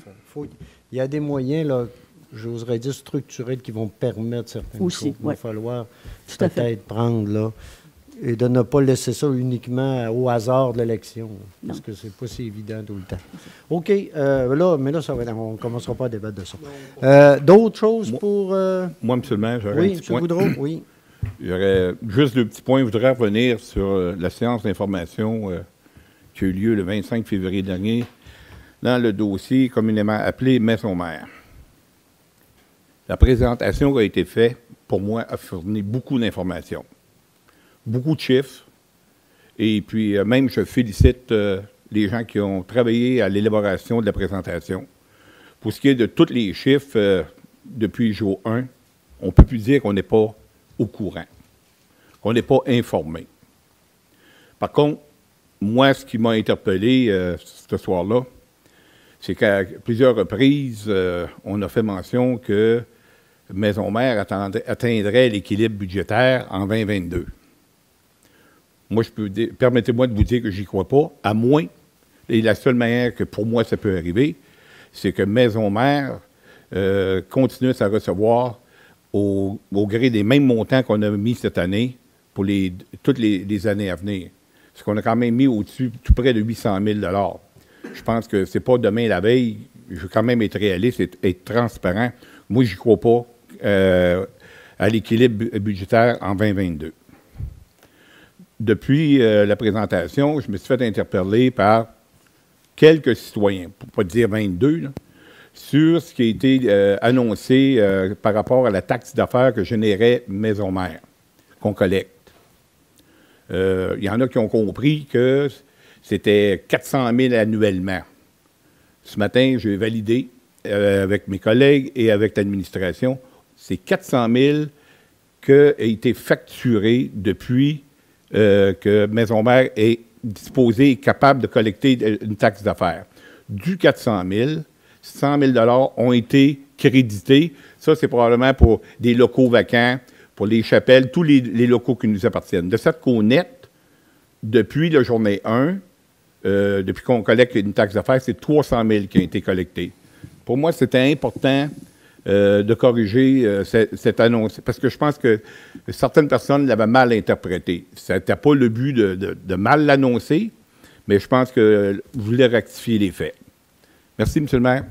Euh, je pense Peut-être M. que- Bouchard, mais... Pas pour, euh, je avant- le ferai peut-être après, là, comme vous voudrez, là. mais je- ou, ou ouais, ensuite, Je comme sais vous voulez. Parce que c'est vous qui avez présenté les chiffres, Oui. mais je voudrais juste. Euh, euh, juste par rapport à. Je rappelle que ce qui a été dit pour 2022, ce n'est pas qu'on va atteindre. c'est que l'objectif, Ouais, l'objectif. l'objectif, c'est ça. Et il n'a pas été dit que c'était certain. On a dit qu'on avait un objectif, que Maison Mère avait cet objectif-là. Il- C'est vrai que c'est pas évident, pas facile, mais euh, sans y croire ou pas, au moins l'objectif, c'est d'y travailler. Et on va, et j'espère là, que le Conseil de la maison va continuer d'y travailler, travailler dans ce sens-là. Ça demeure un objectif qui est un défi, mais euh, euh, auquel il faut travailler. Puis c'est le, c'est le, s'il y a un objectif qu'on doit se donner, c'est d'y travailler le plus Il faut possible. quand même que les Ça, je le objectifs soient réalistes aussi. Oui, mais, Oui, non, mais regarde, euh, nous, notre objectif, c'est vraiment d'atteindre le plus près possible de ça. Et on va, con- moi, en tout cas, j'espère qu'on va continuer de le faire. Le, Oui, seul, Monsieur Bouchard. le, le seul élément que, que je veux, euh, peut-être, euh, sur lequel je veux apporter des précisions, puisque ce matin, euh, On M. Boudreau, effectivement, me- en a parlé, c'est pour ça que je le lis ce soir. là. Oui, j'y ai pensé. Ah. Je suis pas Euh, surpris de le voir là. Je suis content d'ailleurs. Alors, euh, vous vous rappelez donc à la présentation de Maison, de- à la soirée Maison-Mère, on a fait le récapitulatif dans ce tableau-ci pour venir expliciter que les, les déboursés actuels cumulatifs de la ville allaient être d'un ordre de 3 753 000. Puis, il fallait quand même considérer qu'il y avait eu de la location à Maison-Mère, donc des- d'une perception d'un loyer pour 182 000. Et sur les taxes foncières nettes, c'est 101 000 qu'on a encaissé. Au net, parce qu'on a facturé à Maison-Mère pour 411 000 OK, on a envoyé à Maison-Mère un 411 000 de compte de taxes. On a subventionné Maison-Mère pour le fait qu'il y a des espaces inoccupés ou des espaces qui sont euh, qui Commun- seront communs commun, ou oui. encore qui sont impropres à être loués. Alors, une fois qu'on enlève ça, c'est un 310 000 qui a été, au fil des années, euh, supporté par la Ville sous forme de subvention. Et donc, le résiduel, il faut avoir donc en tête, le chiffre à retenir pour euh, les, les contribuables, c'est qu'il y a eu, par les locataires de maison mère, un apport en taxes de 101 098 depuis le, le début de l'acquisition. C'est ça. D'accord? OK. Ça va? Euh, bon, on est toujours en période d'intervention des membres, ça va? Euh, période de questions du public maintenant. Je dois d'abord remercier mes deux, les deux M. Bouchard qui m'ont interdit, lorsque je leur ai demandé de ne pas être vus. M'ont dit non, c'est public. Et puis, ben, je suis contente parce que ça me fait passer à une étape suivante. Moi, j'aime progresser. Et puis, vous allez trouver que mon entrée en matière est longue. Vous n'avez pas fini. Le 10 février, je demandais des changements à l'horaire d'été à la bibliothèque. Semble-t-il qu'on en avait pris note. Ça ne me dérange pas. Euh, Est-ce que cette note-là est restée au stade de note pour les changements d'horaire d'été à la bibliothèque de Baie-Saint-Paul, une ville d'art et de culture? C'est en cours, euh, c'est en cours, madame, euh, de, de- Oui. de vérification, oui. Ça C'est pas court oublié. vite ou ça court pas vite? bon. Ça court vite? Non, mais c'est pour l'été. Effectivement, la discussion est Ah, à se faire. que euh, le temps passe vite. hein? C'est vrai. Et- Oui. D'accord, j'espère bien. Ensuite de ça, je me demandais si le sondage concernant Baie-Saint-Paul, Ville-Amie des aînés était terminé. Normalement, oui. Oui, mais on va être à l'étape de la compilation puis de, c'est l'annonce des résultats. On n'est pas encore à la- à l'étude des résultats. là. Parce que j'aurais aimé être appelé, mais enfin, C'est- Ça s'est fait de manière C'est aléatoire. au madame. hasard. Au hasard. oui, ça, j'en doute pas. Maintenant, pour terminer, Monsieur le maire, je m'adresse à vous surtout, je vous demande de me prêter quelques minutes. Parce que ce soir, je mets un terme final à l'espèce de conflit qui m'opposait à l'OMH. Eh bien, pour le bénéfice de certains conseillers, oui, je suis visible et audible.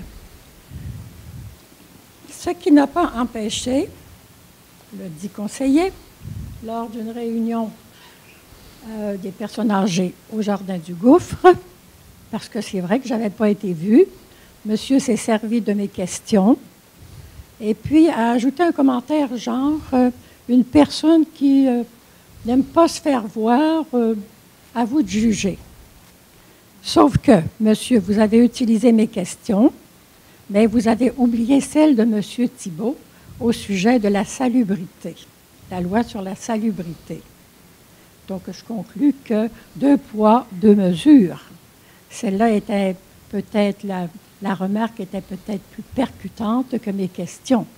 Mais je dois vous dire aussi que le 10 février, vous auriez eu intérêt à ne pas être vu. Parce que sur votre face, on, voyait un malaise très palpable. Et puis vos réponses étaient loin d'être transparentes. Vous avez magouillé, vous avez fait comme un serpent. Et ce soir, je fais amende honorable envers Mme Marie-Hélène Gagnon, directrice générale de l'OMH. Par mon comportement, elle a été victime. Et moi, je dois dire aussi que j'ai été victime du comportement du président de l'OMH soutenu par la SHQ en la personne de M. Michel Alain. À tous ceux qui se sont impliqués dans le dossier,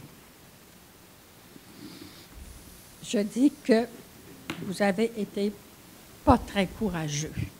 Parce que j'avais demandé de rencontrer Mme Gagnon avant et on me l'avait refusé.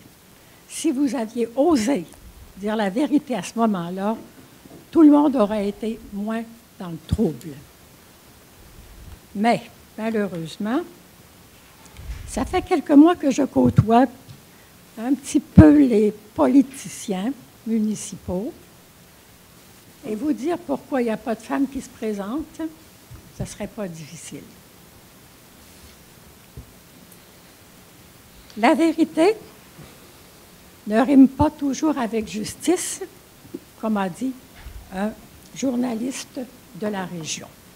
À bon entendeur, salut. Alors j'ai terminé et je demande et je m'excuse auprès de Mme Marie-Hélène Gagnon que je rencontre jeudi à 3 heures m'a-t-elle dit, dépendant de ses employeurs.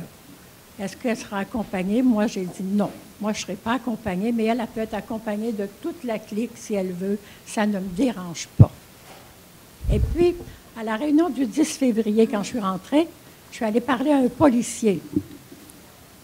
Et quelques minutes après, j'ai vu entrer une policière. Pourquoi? Euh, euh, attendez un peu, attendez un peu, je vais vous répondre.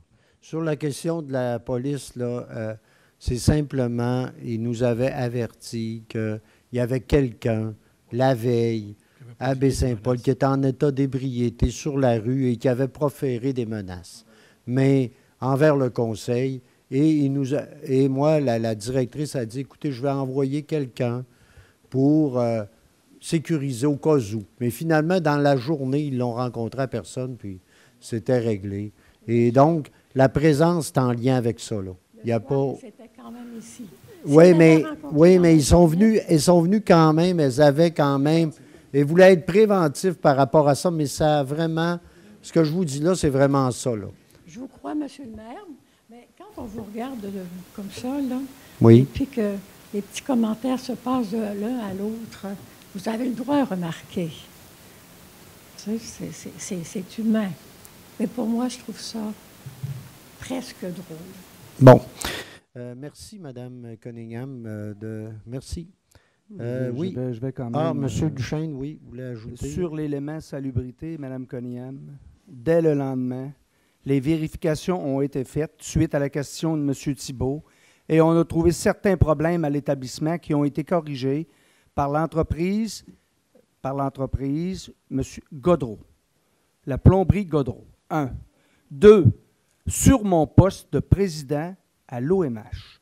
Je l'occupe de la meilleure façon possible, avec la plus d'objectivité possible, et je mets tout en mon possible pour faire en sorte de m'assurer que le, conseil d'administration, les représentants au conseil d'administration et les états financiers soient respectés au maximum.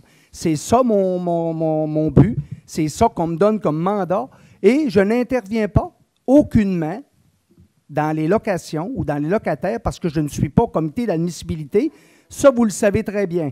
Et dans mon rôle de président, je dois présider l'Assemblée et je fais comme M. Fortin ce soir. Je le préside à la meilleure façon possible en donnant le droit de parole à chacun des représentants, représentantes au conseil d'administration. Là, euh, ce serait possible d'aller au micro. Mais là, je veux pas trop. Moi, là, je veux pas trop de. de- de- Mais non, mais là, allez au micro, Madame Conillan, par exemple, pour réagir. Mais là, là, je vois, tu sais, je veux pas trop qu'il y ait de relance là, comme ça. C'est la débat. dernière intervention que je fais à ce sujet-là, au sujet de la bibliothèque. je vais Allez-y. Allez-y, allez-y. Monsieur Duchesne, le 20 janvier, c'est moi que- qui vous ai parlé de la, du, du système de- d'appel, entre autres, puis du système de, de senteur d'égout qu'il y avait à la maison des Jardins du Gouffre. Vous avez tout de suite fait, le lendemain matin, le 21 janvier, appel à un spécialiste très tôt le matin pour les boutons d'appel. Donc, euh, en ce qui concerne la salubrité, j'ai communiqué avec M. O'Neill Simard et je lui ai laissé un message lui disant J'espère que vous travaillez à faire appliquer la loi et non pas travailler à trouver des raisons pour ne pas la faire appliquer. Maintenant, je ne sais pas où ça en est. Je m'en, je m'en occupe plus. C'est- Je voulais ce soir faire amende honorable envers Mme Gagnon. En ce qui, en ce qui concerne le reste, M. Duchesne, et le conseil d'administration, on n'entend parler que de vous sur le conseil d'administration. Où sont les autres? Bon, là, le dossier est clos, là. C'est beau. Ce sont des Euh, personnes nommées par le conseil en- euh, pour trois organismes et pour le reste, c'est des, euh, des participants qui proviennent des locataires, entre autres, au- soit du Saint-Clocher, soit des Jardins du Gouffre ou soit d'une autre organisation, la CHAC. Et voilà, et dont euh, d'autres personnes, une autre personne aussi du centre communautaire, et euh, je ne les nommerai pas personnellement, ils sont à même, eux, de se présenter. Et pour les, pour les personnes qui siègent au conseil, vous êtes à même de tout savoir qui ils sont. Euh, je vous l'ai dé- déjà donné la liste d'ailleurs. C'est beau. On considère, là, que. Bon, oui, M. Thibault. Bon, Monsieur le maire, Monsieur le maire, euh, j'ai fait un petit calcul de tous les, les règlements d'emprunt à soir. Euh, Ou bien non, je comprends mal. On monte à 7 200 000 de règlements d'emprunt à soir. Oui. OK. Euh, le. Mais là, écoutez, attends, juste deux secondes. là, je ne veux pas allonger ça non plus. Euh, c'est des travaux, ça, sur lesquels on travaille. Ça, des travaux qui, avaient été, qui ont été euh, annoncés et planifiés au plan triennal en immobilisation. Quand vous mettez un montant de 7 millions, là, on- tantôt, c'est budgété, mais c'est aussi, euh, il y a des participations de différents partenaires là-dedans. Donc, euh, oui, c'est 7 millions au total. C'est peut-être, il va y avoir différentes participations autour de ça. En même temps, ben, vous savez très bien que c'est des travaux qui sont rendus nécessaires à différents niveaux pour le développement. Vous savez, on est une municipalité en développement encore. Je comprends qu'il y en a qui trouvent que ça va vite, mais on est une municipalité en développement et c'est dans ce cadre-là qu'on va. Puis, dans certains cas aussi, c'est pour nous rendre euh, pour nous régulariser notre situation, que le ministère, qu'on profite par exemple que le ministère fait des travaux sur Monseigneur de Laval pour euh, améliorer la situation, euh, vous ne pouvez pas nous reprocher ça. Là. J'ai pas fait de reproche, Monsieur le maire. Non, mais j'ai senti j'ai juste chose. posé une question. Est-ce que ce 7 millions-là s'additionne aux 40 qu'on doit déjà? Bon. Là, puis là, faut, euh, lance, c'est pas trop de chiffres n'importe comment, là. Mais euh, euh, à quelque part, ça s'additionne, mais il y a des soustractions aussi, il faut le dire. Il y a des soustractions. À chaque année, on a budgété, on rembourse une partie de notre dette. Fait que quand tout ça euh, est mis ensemble, on, on verra le résultat. là. Les états financiers vont être présentés dans peu de temps. On verra les résultats. Ah, vous avez euh, accepté une demande de dérogation là, pour une, bu- une, euh, buanderie. Oui. Ça veut, ça veut dire qu'on on perd un locataire à maison mère? Euh, écoutez, on a la question. D'abord, là, il y a des discussions qui se continuent. Là, il y a une demande qui est faite là-bas, mais on. euh, L'objectif de Maison Mère aussi, c'est de permettre à des entreprises d'éclore puis de progresser. Euh, progresser à Maison Mère actuellement, euh, il, y aurait des gros changements à faire. Tout a été analysé. Puis il y a d'autres discussions avec d'autres personnes qui pourraient être remplacées aussi à Maison Mère. Donc, euh, ça a été calculé par, le, par Maison Mère et les différentes personnes. Et euh, euh, il n'y aura pas, d'après ce qu'on calcule, il n'y aura pas de perte financière là, avec ce transfert-là. J'espère. Le conseil d'administration actuel de Maison Mère, Oui. il a été nommé par qui? Il a été nommé par la euh, il y a une partie des gens qui sont désignés par la ville de Baie-Saint-Paul. Les autres ont été nommés euh, par euh, euh, des représentants de Maison Mère qui, en, Assemblée générale. Mais c'est la ville qui a déterminé la façon de fonctionner pour le CA. Et c'est nous, nous avons nos personnes à nous, puis on a désigné des personnes représentant le milieu et des gens qui, évidemment, nous ont manifesté de l'intérêt. Et, et donc, et il y a une personne qui représente les, les locataires, hein, aussi qui est là. Les autres représentent, on a essayé d'y aller avec la représentation selon euh, les, milieux d'intérêt. Par exemple, la question institutionnelle, euh, la question des gens d'affaires, euh, la question de, Donc, pour nous, c'est important d'avoir des gens à ce niveau-là. C'est la ville qui leur en a fait la demande. Et ces gens-là, dans certains cas, il y en a qui n'ont pas voulu s'impliquer, mais la majorité, à date, nous ont dit oui et qu'ils étaient prêts à s'impliquer avec nous. Ben, moi, dans le document que j'ai, M. le maire, euh, administrateur occupant de maison, de maison mère, Oui. vacant. Oui, parce que la personne vient de quitter. On a, là, on a trois personnes. Au prochain CA, on va désigner une personne. Tous les gens que je vois là, M. le maire, là, Oui. d'après moi, ils ont été nommés par la ville. Oui, ils ont été nommés par la ville, oui. On je m'excuse, là, j'ai fait. Ils ont été nommés par la ville au premier CA. Il y a des gens qui, en cours de route, quittent, reviennent, mais euh, ils ont été. Mais ce que je vous dis, ils ont été nommés, mais en même temps, choix. On a. On les a nommés, mais euh, suite à différentes. Quand on a fait le conseil d'administration, on a voulu avoir des représentants qui représentent différents secteurs d'activité de Baie-Saint-Paul ou de Charlevoix, et, et même au-delà, même en dehors aussi, et qui peuvent avoir, qu'on pense être des gens qui peuvent être des bons administrateurs pour un, un projet comme Maison Mère. Donc, le maire, euh, Monsieur le maire est président du Oui. conseil d'administration. Oui. Monsieur le maire a nommé des administrateurs avec lui. Si Ben, je, moi, je comprends. Moi, je on va passer à une autre question. Non, M. Thibault, là, je ne considère pas que c'est M. le maire qui a nommé tous les administrateurs. Le conseil municipal était au courant et euh, on en a parlé ensemble. Et euh, là, c'est pas. Moi, je me.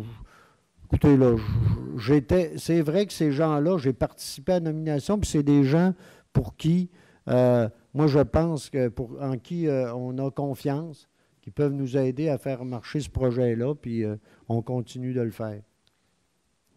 Pour euh, l'obtention, pour l'achat d'une carte de membre, est-ce qu'on vient à l'hôtel de ville ou s'il faut se présenter à ça, Maison on a à déterminer. On va déterminer tout ça. C'est le CA qui a à travailler ça. Oui, mais Monsieur le maire, le prochain conseil le prochain conseil. En temps et lieu, ça va être Le 29 annoncé. mai. En temps et lieu, ça va être annoncé. Le mécanisme de tout ça, il faut quand même, euh, comme il faut analyser nos règlements généraux puis voir comment on peut travailler ça. Ça va être annoncé en temps et lieu. Avant le 29 de mai, j'espère. En Parce que temps et l'Assemblée- lieu, ça va l'être. L'Assemblée des Monsieur membres. Thibault, euh, Monsieur Thibault, ça, va être, ça va être fait en temps et lieu. Je ne peux Pas pas le- vous dire d'autre chose. J'espère que ça ne sera pas le 28 de mai pour la réunion du 29. Monsieur Bouchard, vous avez euh, en main, je pense, euh, pour mettre sur l'écran les, euh, les documents de la présentation de Maison Mère. Les avez-vous? Le même que tantôt. J'aimerais ça aller à la page le- 15. Le- Non, on n'a pas- On a juste seulement, À la page page-là. 15, Oui, vous avez un diagramme Oui, des revenus en rouge oui, et les dépenses en bleu. oui. Dans la colonne, dans le- sur la ligne des revenus 2018. Euh. Rappelez-vous que c'est 2018, oui. Rappelez-vous que ces tableaux-là, quand ils parlent des revenus, ils parlent des revenus autonomes. Non, Hein? ça, c'est les dépenses. Les revenus, 1 077 240. dans votre euh, diagramme. Oui. À la page suivante, revenu maison-mère par grande catégorie, l'année 2018, 1 912 000, Oui. 1 67 Oui. En 2019, 1 million 79 625. La page suivante, 1 million 396 000. Mais c'est que les chiffres ne coordonnent pas. Je vous Ben, ai- il vient je de- viens- monsieur- je viens de vous, monsieur Bouchard je viens de vous vous le mentionner en, en Oui. une phrase. Je vous ai dit de vous rappeler qu'il s'agissait des revenus autonomes. Donc, les revenus autonomes, ça veut dire ça qu'on enlève une part des revenus qui viennent de, de l'aide de la municipalité, à titre d'exemple. On enlève des subventions de ça. Puis pour vous donner plus de, de- de détails, ben, ça, euh, les gens de là-bas là, pourront vous expliquer d'où ils tirent leurs chiffres qui ont été présentés. Mais Mais il faut le- se rappeler qu'on ne parle pas totalement de la même affaire. C'est pour ça qu'ils ne concordent pas. là. Il y a une partie qui présente les revenus autonomes. L'autre, c'est les revenus complets. Puis dans l'autre, c'est les revenus plus autonomes. C'est-à-dire que qu'est-ce que Maison Mère a généré par la location puis par leur Par activité? différentes activités et tout. Puis, si mon, Alors, ça se peut que mon explication ne soit pas complète parce que c'est pas moi qui l'ai préparé, ce diagramme-là. C'est Maison Mère. Alors, je vous invite à, à prendre contact avec eux, puis ça va leur faire plaisir, assurément, de vous détailler un peu plus l'information. Si je comprends bien, ça veut dire que la différence entre le 1 912 et le 1 67, c'est 800 000 que la ville a payé. Exactement. Vous traduisez et ça mal c'était- comme ça. Monsieur Et- Thibault, c'était pour démontrer ça. Ça m'est clair. Puis que notre objectif, c'est d'augmenter, évidemment, de baisser la question des, des- de ce qu'à la ville met, puis d'augmenter les revenus autonomes. C'est un objectif, c'est un défi, mais c'est l'objectif qu'on recherche. C'est pour ça qu'on le présentait comme ça. Est-ce que euh, dans le- le- le- l'entretien de maison mère, si je prends par exemple le déneigement l'hiver, est-ce que les euh, locataires de maison mère contribuent au, au déneigement? Ben, en fait, ça sert ou si c'est inclus dans le, dans le Non. prix du loyer? C'est Oui. ça. Vous venez, de- vous venez répondre. C'est votre deuxième dans le euh, coût du loyer. Ouais. Merci. C'est beau? Alors, dans un premier lieu, je vous remercie d'avoir donné suite à la demande d'information qu'on vous avait demandée. Euh, ça, nous a éclairé sur certains points de vue. Euh, je dois vous dire en partant que quand on fait des interventions, on a toujours l'air d'être contre des projets. Mais pour me faire une tête face à la maison mère, j'aurais besoin qu'on me réponde à quatre questions qui ne sont pas agressives, mais qui sont purement mathématiques. La première, quel est le pourcentage actuellement d'occupation de maison mère? Ma deuxième, quel est le total de pieds carrés que vous avez alloué? Ma troisième, quel est le coût du pied carré de chaque locataire? Et combien vous chargez à vos locataires? Ça, j'aurais aimé avoir les réponses à ça. Votre démonstration, là, fut celle d'Ivanhoe Cambridge quand ils veulent nous vendre des locaux dans des centres d'achat, avec des beaux diagrammes, puis en fin de course, ça s'avère tout à fait faux. Moi, j'ai connu quelqu'un à Saint-Paul qui s'est laissé aller face à une telle intervention, des beaux diagrammes, tant de chiffres d'affaires, tant de population, puis au bout de six mois, il avait fermé. Moi, je ne suis pas agressif, là. Je veux ju- juste qu'à un moment donné, est-ce que vous chargez à vos locataires le prix qui est normal? Et quand vous avez dit à du privé que vous ne leur chargiez pas, euh, euh, vous ne retombiez pas le montant, votre façon a été de nous dire on ne vous chargera pas le montant, mais on va aller chercher d'un contribuable. Moi, je suis bien d'accord d'encourager le privé. Je suis dans le privé. Mais cette réponse-là ne me satisfait pas. donnez-moi des réponses, M. Bouchard, à ces quatre questions-là, puis après ça, on pourra parler. Je ne vous demande pas de répondre ce soir, mais je me serais attendu à cette soirée-là, qui fut une, soirée de super belle promotion, je me serais attendu à des chiffres. Et c'est là que je m'arrête. Merci beaucoup. Euh, on va, euh, là, il y a quatre questions. On va, on va répondre. Et euh, écoutez, là, qu'est-ce que vous voulez que je vous dise? Vous considérez ça comme de la grosse promotion. On a quand même présenté des chiffres de là à dire que tout est faux, là. Ça, vous êtes totalement dans le champ. Mais c'est correct. C'est correct, je vous comprends. Mais vous pouvez lancer n'importe quoi, c'est correct. C'est beau. C'est beau. Mais non, c'est pas Non, vrai non, que c'est excusez, je vous totalement faux. Je pas vous dis pas. Excusez. Je vous ramène ça- à l'ordre. C'est ce que vous avez dit. Je ne vous dis pas que tout est faux. Oui, vous avez dit ça. Je- non. Je Oui. vous dis de vous ramener à la réalité, Non. tout simplement. Oui, vous déformez que- mes non. paroles. Vous avez dit que le résultat était faux. Non, j'ai jamais dit ça. Oui, ben voyons. Euh, on vous enregistre. Vous écouterez. Ben, c'est parfait, je vais m'écouter. Vous allez le voir. Parfait, merci. C'est beau. Vous savez, il y a une partie des réponses que je peux vous donner, mais pour être plus précis, et je vais me garder la possibilité de vous les donner plus tard. D'accord? Parce que déjà, dans, dans les réponses, on sait ceci, c'est-à-dire que le taux d'occupation oscille autour de 55 à 60% On sait, ouais, dans les réponses précises, ouais, là. dans, dans les réponses précises, vous savez, on a 175 000 pieds carrés. Oui, on a. Il y avait une acétate, M. Simon. Il y avait une. Il y avait une, une acé- Non, Ah, ben, bien évidemment, c'était sûr. C'était mon objectif. non, dans. dans- dans- clair? De- Eh oui. mais là, si, euh, si vous me permettez, une autre. Vous avez aussi dans la présentation, je ne sais pas si vous vous souvenez, qu'on a présenté, on a fait une présentation euh, dans laquelle on disait comment se structurait la participation de la ville dans le montage financier puis dans l'aide qu'on accorde. Et par rapport à ça, on a euh, exprimé le pourcentage d'occupation qu'on avait. En fait, la partie louable, là, ça se traduit en centaines de mille pieds carrés, là, parce qu'il y a des parties qui ne seront jamais louables, parce que c'est soit des aires communes, c'est soit des, c'est soit des lieux qui sont dédiés, par exemple. euh, oui, je vais tout vous, vous apporter. Ben oui, ben oui, je vais vous envoyer ça même à vous. hein. Oui. OK? Que ça Avec soit- plaisir. ouais. Oui, bien, Bon. on vous apportera C'est des, beau. des précisions. Oui. C'est beau. Autre question? C'est beau. Donc, euh, s'il n'y en a pas d'autres, écoutez, euh, je vais prendre une proposition de lever de l'Assemblée et vous souhaiter une bonne fin de soirée à tout le monde. Voilà, merci.